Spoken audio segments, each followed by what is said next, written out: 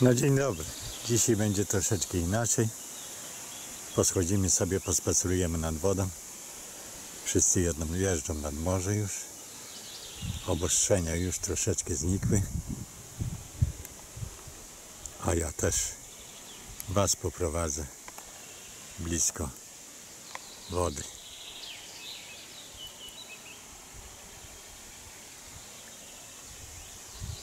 Witam już pięknie lilie w stawach.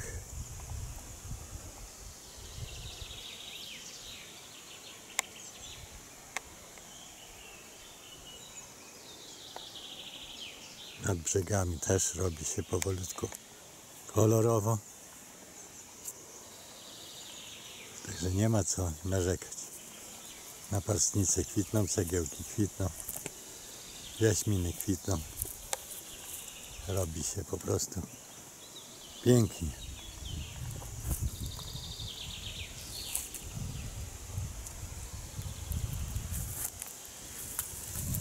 To pójdziemy zaraz na tą nową ziemię,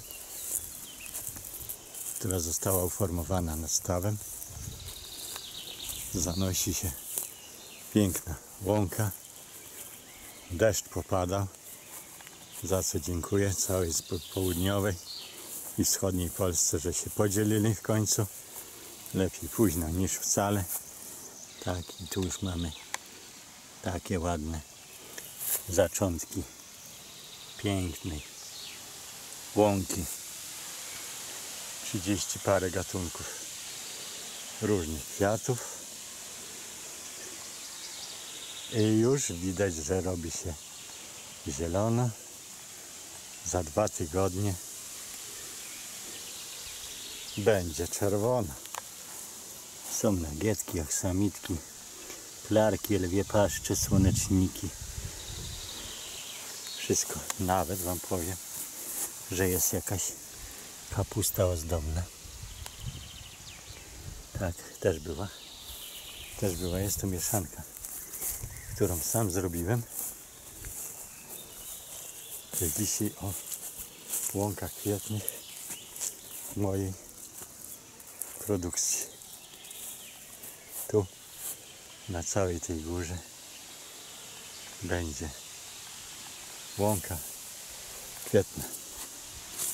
Kwitnąca łąka kwietna. Las brzozowy. Wiaterek szumi. Las koszony raz w roku po kwitnieniu wszystkich ziół. A jest ich tu co niemiara. Co chwilę coś kwitnie. Niech te owady mają co jeść. Są jeżyny, są maliny, są dzwoneczki i wiele, wiele, wiele innych. Kończy się to wszystko kwitnieniem na błoci.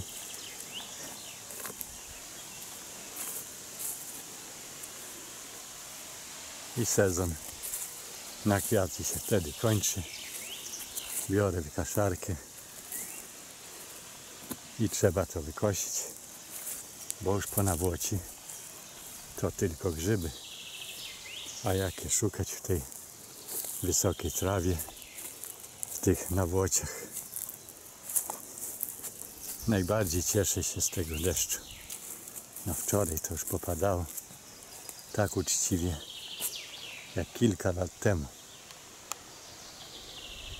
Jest siódmy rok suszy, jeżeli wierzyć przysłowiu, że 7 lat tłustych, 7 lat chudych, 7 lat mokrych, 7 lat suchych, czyli ostatni rok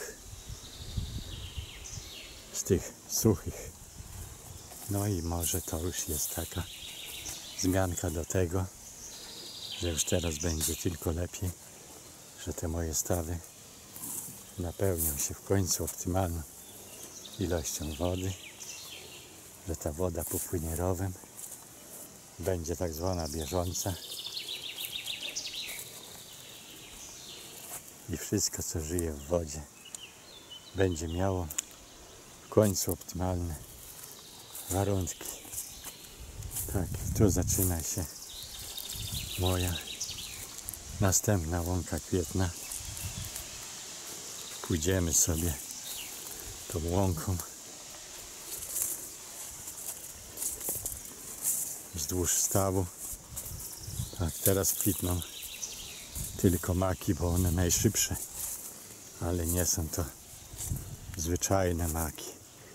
To są piękne maki, które lubią nawet pszczoły. Zobaczcie, ta pszczoła tam czegoś szuka.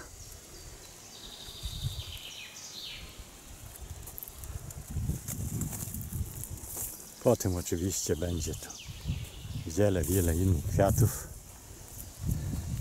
ale chyba najwięcej powschodziło jeżówki. Także mam dziesiątki tysięcy jeżówki i będzie fajnie, bo to twardy, ładny kwiatek. Tu już pierwsze lilie kiełkują. Mam nadzieję, że w tym roku zakwitną. Tu jest druga. Gdzieś tam dalej będzie jeszcze jedna. I będzie fajnie.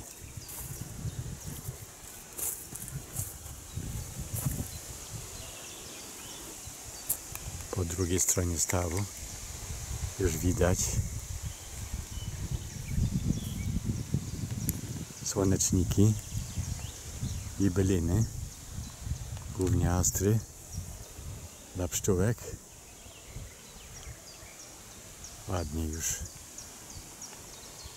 wyrosły całe kępy. Ale wracamy teraz do tej strony.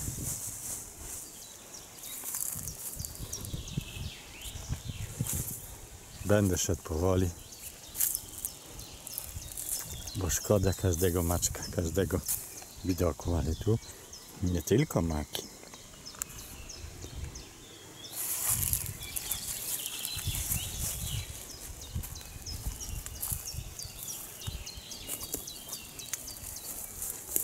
że powolutku to wszystko będzie się zmieniać. Jedno jest pewne, że jak maki przekwitną, to je po prostu zetnę wykaszarką i wtedy dam szansę innym kwiatom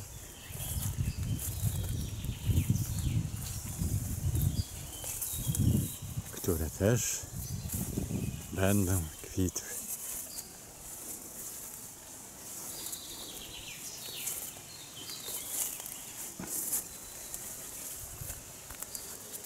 I po dwóch tygodniach znowu pójdziemy na spacerek i znowu na tym samym polu będziemy podziwiać inne kwiatki.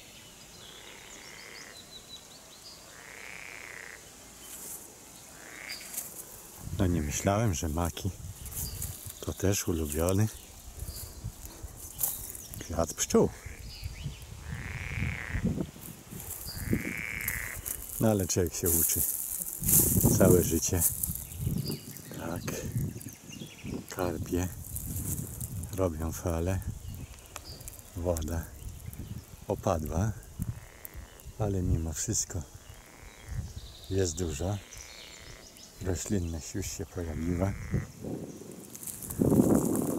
Także na pewno i robaki i wszyscy mają co jeść. Tu będzie o, cały pas kandy paciorecznika, chyba tak zwanego. A my idziemy ciągle tymi makami. Pokażę Wam dzisiaj warzywa, pokażę borówki, pokażę ziemniaki, a grządki niech odpoczną po deszczu, rosną i jest tam taki szum, że aż trzeszczy. I zakłócało nam tu całą transmisję. Dlatego idziemy w maki, bo maki mają ciężkie głowy.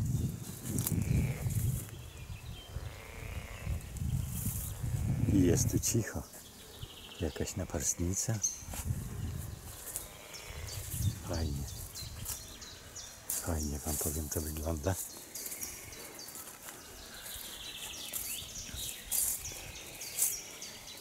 Tu jest ten wiąz,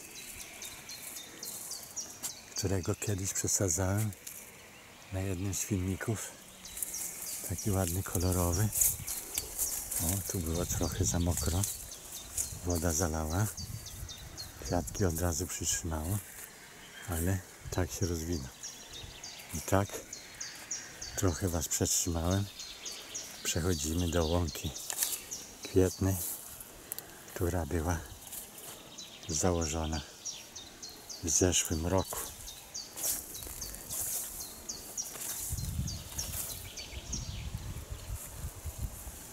Tak to wygląda w tym roku. Kwitną już cegiełki, naparstnice i jeszcze to czerwone. Ale to zagadka dla Was. Tu za chwilę będą rudbeki, będą mierzówki. Oczywiście wszędobylska nawłoć, ale zostawiłem. Nie rondapuję, nie pryskam. Dla wszystkich ich starczy miejsca.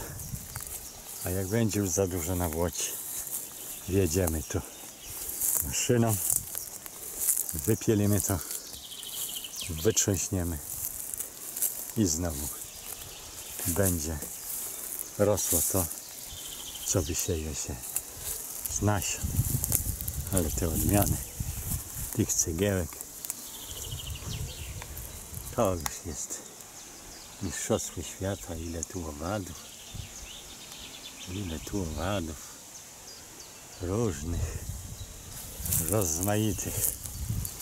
Tak, i ta łąka ciągnie się, słuchajcie, kawał, cały kawał, albo jeszcze dalej.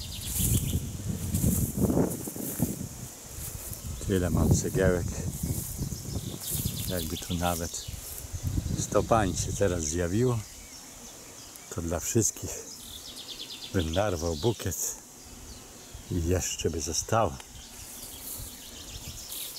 Pszczoły szaleją, zbierają miód. Ojej, ale co tam się dzieje?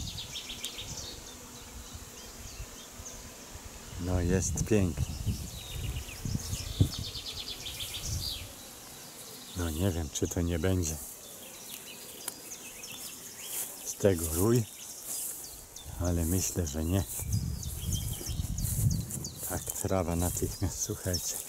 Tydzień temu pierwszy deszczyk, a trawa od razu ruszyła. Tak. Idziemy sobie teraz do warzywek. A co tam? Przejdziemy. Tak, słuchajcie. Kto chce mieć piękne kwiaty różaneśników i azarii. One już przekwitły. Obrywamy kwiatostany i pryskamy nawozem dolistnym do różaneczników i azalii.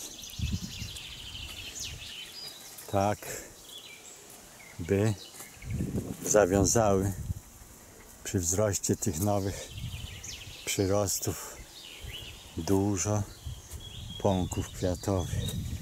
Kalarepa już do zbioru.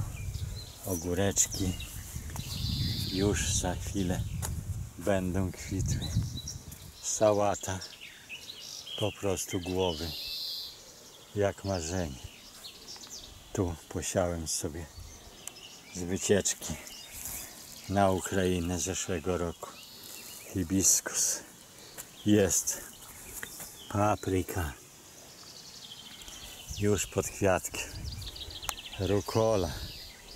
Też ją bardzo lubią pszczoły. Jak one tu zbierają. Jak one tu zbierają pyłek. Tak, miodek. Jest szpinak. Są buraczki.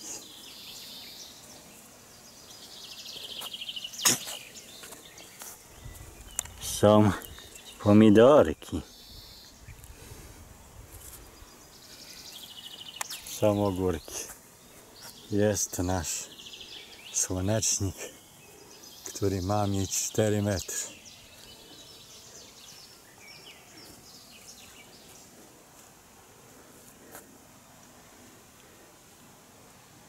Już w te miejsce, w które coś wyrwałem, dosadzam nowe kalarepki, nowe brokuły, bo szkoda miejsca. Tu już taka marchew. Rzędy zakryły.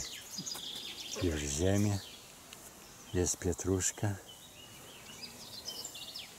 jest broku, gigant, jest dużo cebuli tam na brzegu, czosnek, jest kapusta. Już ładnie formuje główki. Jest kapusta modra, czerwona, bardzo dobra na surówkę. Jest kapusta późna i zaczyna pokazywać się mącznik. No będzie teraz sajga. Odlałem już wszystko wrotyczem. Tak wysypałem skórkami, nie, łupinkami od jajek. Tak i wam powiem, że tylko widzę już jedną norkę tu od turkucia, a więcej zbytnio nie widać. To znaczy, że chyba działa. Rozsypujemy suche, pokuszone skorupki, lekko mieszamy z ziemią. Turkucie to podobno bardzo lubią, ale nie mogą tego strawić. No i mają problem. I mają problem, a my mamy po problemie. Wyraziłem się dosyć, myślę, łagodnie na temat tych stworzeń, które też muszą żyć. No i co zrobić, że muszą jeść? Tu mam rządek brukwi. Przypomniałem sobie na wiosnę, jak kiedyś w drodze do szkoły tak podbierałem brukiew z pola i w drodze z lekcji lub na lekcję sobie troszeczkę podjadałem. Patrzcie, te cegiełki, te goździki w takim w takich drzewach, które tu rosły, wysiały się, nie dają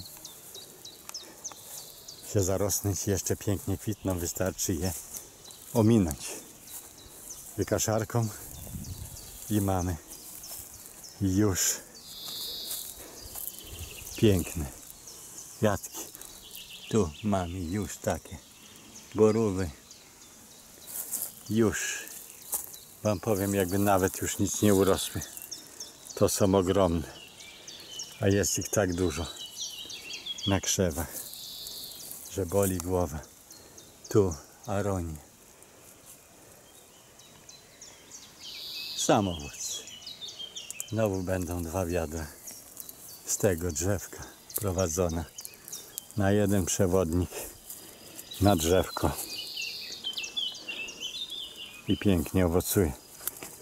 Takie duże grona borówek, jak od winogron na całą moją dłoń.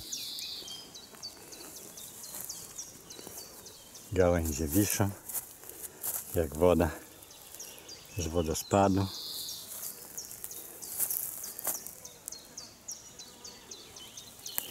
Także będzie się działo.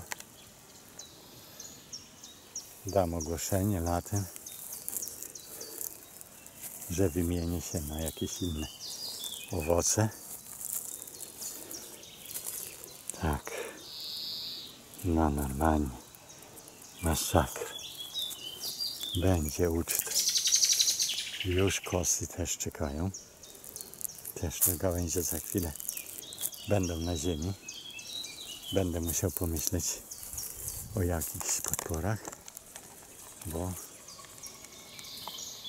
jak leżą na ziemi te owoce, słabo dojrzewają. Ale przez to, że w zeszłym roku leżała część na ziemi, to borówki miałem do końca września. Tu u góry się zerwało wszystko, a te przy ziemi dopiero zaczęły dojrzewać.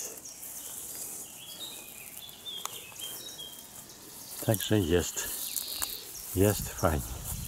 Zobaczcie, tu wypuszczają piękne pionowe pędy, a tu wiszą ładne owoce. Różowej borówki też będzie troszeczkę. Także będzie fajnie. Posmakujemy. Tu już porzeczka czerwona zaczyna dojrzewać. Porzeczka czarna już też zaczyna dojrzewać pierwsze ciemne owoce. Fajnie. A już teraz Wam powiem, że nawet jakbym tu został bez samochodu, to z głodu nie zginiesz. Był prawdziwy wega. Nic by się nie zmieniło. Tylko nowe spacery z rancza by były bez głosu, bo bym nie miał siły. Takie mam różyczki. Parkowe. Ich w ogóle nie tnę. One nie zwracają uwagi na mnie i po prostu kwitną. W grządkach za tydzień będzie szum, będzie kwiat piwonie już kwitną i już nawet przekwitają. Te cztery dni, co mnie nie było, czy pięć, po prostu uciekł mi piękny widok, jaki Wam teraz pokażę. Zapach możecie tylko sobie wyobrazić, bo pachną bosko w tym roku, bo deszczyk popada, nektar się leje i jest pachniąco, pachniąco. Podejdziemy jeszcze do tamtej grządki, pokażę Wam ładne pałki. Często się o nie pytacie, jak o nie dbać. Ja nie robię nic. Rozety tych liści usychają zimą, na wiosnę wypuszczają i cała zabawa zaczyna się od nowa.